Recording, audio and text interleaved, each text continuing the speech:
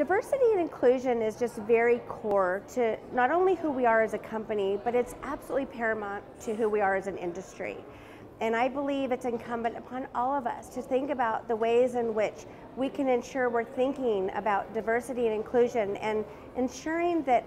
you know we're all recognizing the importance of that and what we can do to make a difference. And that can be everything from how you're investing in the younger population of workers, everything that you're doing to, to bring in diverse candidates to whatever company you work for, and making sure you have a diverse and inclusive workplace for every employee that you have in your organization.